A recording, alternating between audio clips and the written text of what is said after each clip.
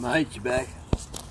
Uh, I'll do a video of what this sounds like and to all the people bad comment, I'll just shake it off because I don't care what you think. If you don't show innovation and imagination, you won't change nothing. But this, I've taken the lock nut off here because it was vibrating tight, which is one good thing. It's good to always hold on, but it does perform and act very different.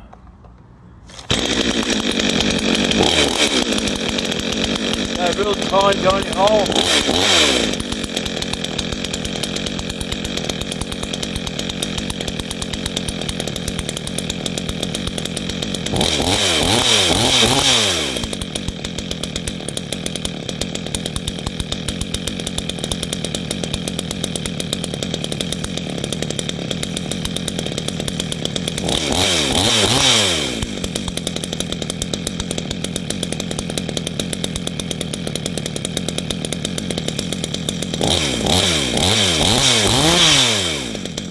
So that seems too much.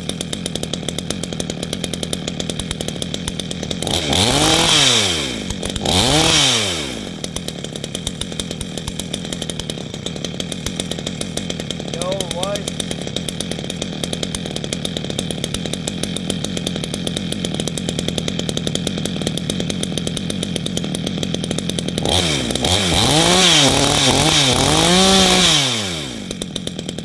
Hey, back pressure.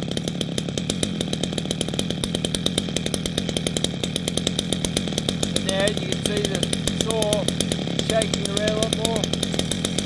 It's shaking.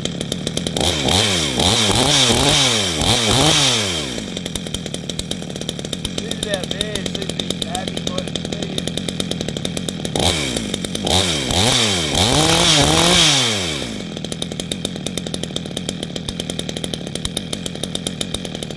Go back in.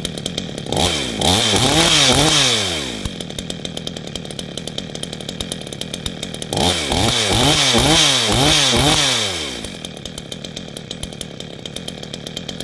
was surprised. Look how small that hole. It still runs.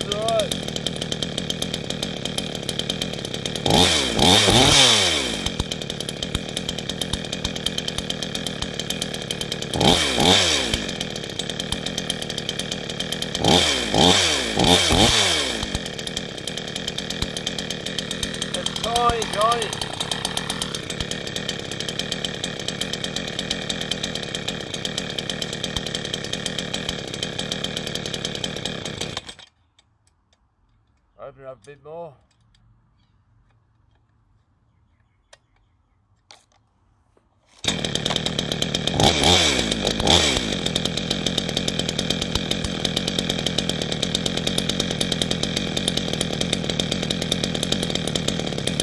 I think it starts to vibrate around down there, see it jumping?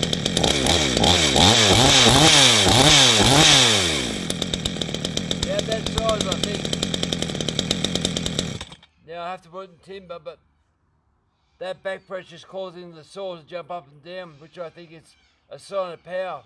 But um, I thought the hole would be a hell of a lot bigger than that, but that's quite surprising.